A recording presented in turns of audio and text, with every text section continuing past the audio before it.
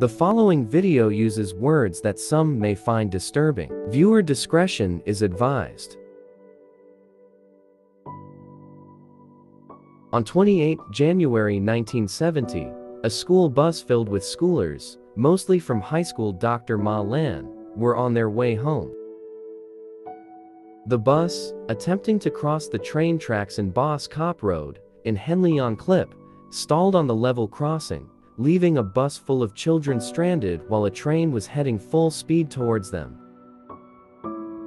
Johan Leroux, a 17-year-old pupil of Hoërskool Dr. Malan, who had that very same morning, received news that he had received President Scouts honors in the Voortrekkers, was among those in the bus. Realizing that they were in trouble, he jumped into action, kicking out the emergency exit window. At least two children were saved because of Johan Leroux, including an eight-year-old who Johan had pushed out after he got stuck, trying to get out of a side window.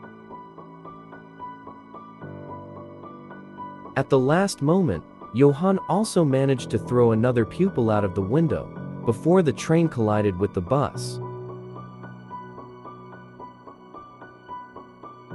23 children lost their lives that day, while an additional 16 were injured.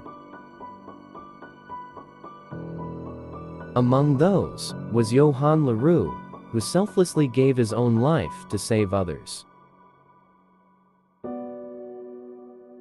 Leroux received a silver medal for his bravery in 1973 and had a street named after him.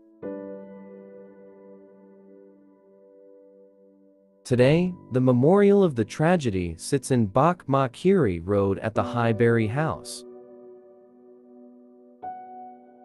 It is an absolutely tragic event that will always be part of Henley on Klip and its history.